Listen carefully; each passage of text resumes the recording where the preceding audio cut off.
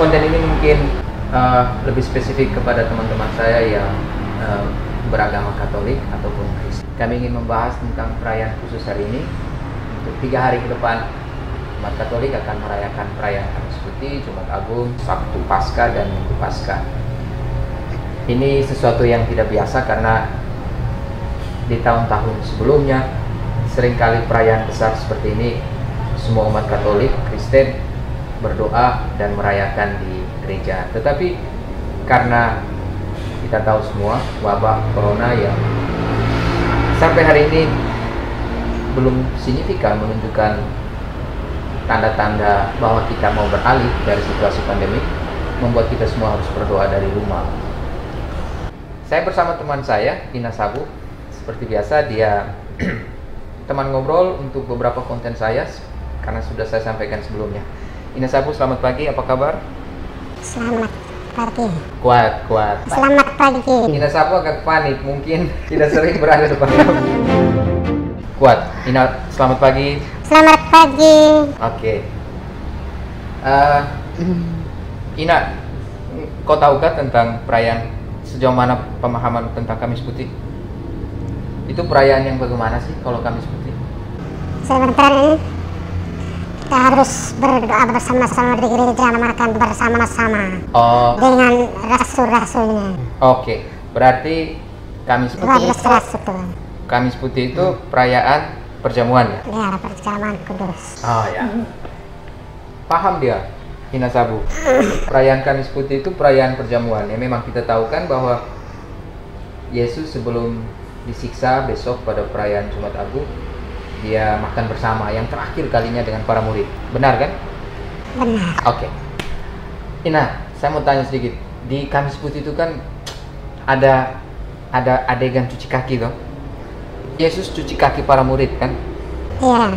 Nah, itu kenapa sih Yesus cuci kaki para murid? Sebab orang berdosa Tuhan. Hah? Orang berdosa. Dia omong selalu agak pelan, kuat sedikit. Orang berdosa mau cuci kaki semua tuh. Semua rasul-rasul tuh. Oh, Untuk me- 12 rasul tuh. oh, Menambahkan iman. oh, oke. Jadi perayaan Kamis Putih di mana di dalamnya ada ah, apa ya adegan Yesus cuci kaki para murid itu maksudnya mau membersihkan dosa ya. Ya. Oke. Ya, saya sangka itu poin bagus. Menurut Ina Sabu, Yesus cuci kaki para murid itu itu makna penghapusan dosa, makna pembersihan dosa, ya kan? Oke. Terus ada Petrus kan waktu waktu sorry. Waktu Petrus Yesus cuci kaki di Petrus kan ada 12. 12 orang kan? Iya. Orang pertama Yesus cuci dia tidak omong banyak. Orang kedua cuci kakinya tidak omong banyak. Tapi sampai pada murid yang namanya Petrus itu waktu Yesus mencuci kaki dia minta dari kepala sampai kaki. Itu menurut Nina kenapa sampai Petrus macam tidak puas nekat sekali Yesus hanya mau cuci kaki dia minta itu seperti kasih mandi dia kan Dia mau perlu tuh mandi terus seluruh badan. Dan cuci tangan dan kaki kan sudah sudah bersih semua. berarti Bisa. yang dibuat Petrus salah Benar, benar semuanya benar. hanya Cuci kaki dan tangan sudah bersih semua. tapi Petrus kan minta macam ini ya ini kan dia omong dia bilang cuci. dia bilang eh, mana ya? Hmm. Tuhan jangan hanya kaki tetapi basuh juga tangan dan kepala. Jadi kaki dia minta tangan dan kepala. Padahal Tuhan mau hanya di kaki. Biar kalau sudah mampu di tangan di kaki kan biar seluruhnya sudah bersih semua. I have no idea. Hatinya bersih, bersih. oke Ya, berarti paling penting hati ya ya. Sudah ampuh semua. dosa Ya. Oke, jadi eh, menurut Ina Sabu paling penting itu hati yang bersih, ya kan?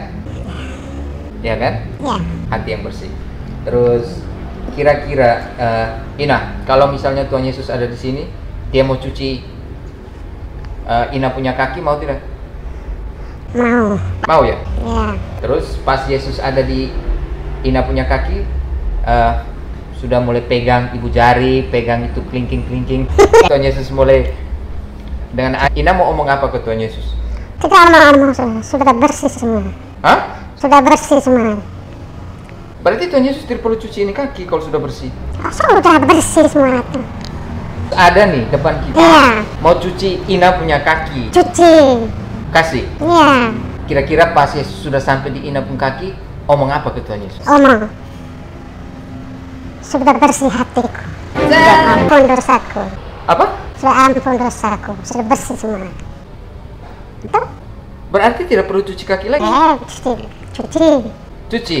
Waktu Yesus sampai situ, Ina bilang apa? Tuhan Yesus. Bersyukur dan dengan Tuhan Yesus.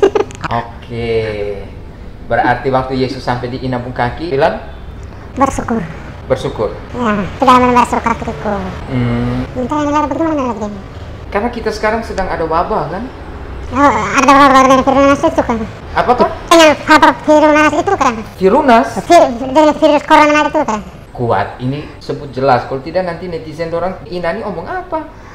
Mau didengar wabah virus virus itu kan? Wabah corona itu kan? Fabas atau wabah? Wabah corona itu corona itu Wabah atau wabas? wabah Hah? corona wabah Sabar, sabar. Ini bahasa Indonesia harus baik dan benar. Wabah atau wabas? wabah Hah? wabah wabah Wabah. ah corona Corona, oke. Di tengah situasi ada virus dan orang tuh bisa ke mana-mana, Hmm. kita merayakan Kamis Putih terpaksa dari rumah masing-masing. Kasihan ya kita semua. Kita terus mendoakan ya supaya situasi semakin baik. Di tengah wabah seperti ini, Tuhan Yesus ada di kaki pas mau cuci Ina punya kaki. Ina omong apa ke Tuhan Yesus? kita omong kita harus berdoa banyak kepada Tuhan Yesus yang men, yang men, me- apa ya yang, yang menyebut kita menghindar kita segala wabah corona itu supaya menghindarkan segala penyakit-penyakit yang yang kita hidup sekarang ini Tuhan Yesus yang men, Tuhan Yesus yang memberi langsung untuk menyebab untuk menyembuhkan semua kita punya ini wabah virus-virus itu kita harus berdoa banyak Kamera ada di sana. Ah, iya Terus?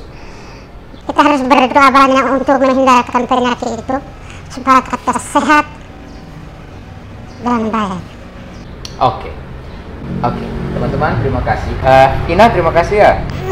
Cara sedikit soal perayaan Kamis Putih ada beberapa poin yang tadi disampaikan. Saya mengikuti apa yang disampaikan oleh eh, Ina teman ngobrol saya bahwa perayaan Kamis Putih itu adalah perayaan di mana ada kebersamaan.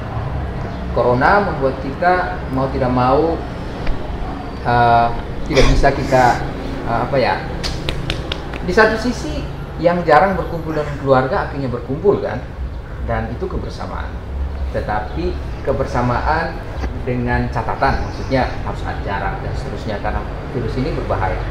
Yang kedua cuci kaki tadi maksudnya apa? Ina saya lupa. Poin dari Ina tadi. Yesus cuci kaki itu artinya apa? Bersyukur dan terima kasih. Oke. Sudah bersih semua. Oke, mau mencuci kaki kita itu artinya Yesus mau merendahkan diri depan kita dan uh, sikap paling penting dari kita itu kita bersyukur, berterima kasih ke Tuhan karena Dia mengambil sikap paling rendah dan itulah Tuhan kita, ya kan? Lalu yang ketiga tadi apa? Di tengah wabah ini Ina omong apa tadi pesannya? berdoa banyak-banyak Oh ya, kepada Tuhan Yesus oke di tengah kepada Bunda Maria penolong kita di tengah wabah virus ini eh, Ina mengharapkan supaya kita terus berdoa eh, jangan pernah putus untuk meminta ke Tuhan supaya secepatnya kita terbebas dari wabah ini dan kita kembali kepada kehidupan kita yang normal karena ya teman-teman tahu sendiri eh, sepanjang pandemik ini kita keluar dari pola yang biasa kita lepas dari kebiasaan kita dan mau tidak mau demi keselamatan kita semua. Satu doa dari saya dan Ina, semoga teman-teman tetap bisa merayakan perayaan Kamis Putih dari rumah dengan penuh syukur dan mengambil hikmah dari ini semua dan kita terus berdoa kepada Tuhan supaya wabah ini cepat berakhir. Oke? Mau pesan apa? Oh ya, jangan lupa please like, subscribe, comment, and share. Tolong ngomong. Please, jangan lupa, Jangan lupa. jangan lupa, Aha, sana kamera. please, Please. please, ya, apa?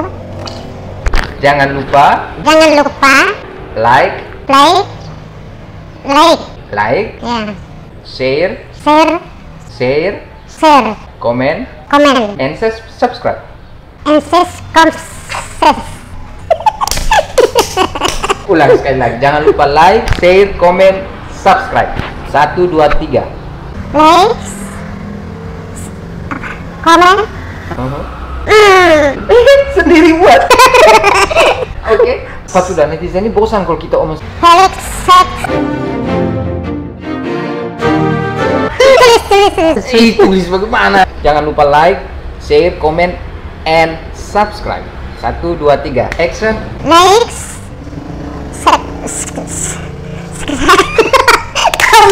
Oke. sex, Oh, shit. Subscribe. subscribe, Subscribe. subscribe, Aduh. Subscribe. subscribe, Subscribe. subscribe, subscribe, Jangan lupa like, share, comment, and subscribe. try, Aduh. Like, like, comment, comment, share, share, subscribe. subscribe, subscribe. Ah, Oke. Jangan pelit kamera sana. Jangan lupa teman-teman, please, please like, like, like, Like, comment, comment, share, subscribe, subscribe. subscribe. Oke, bye. Bye bye.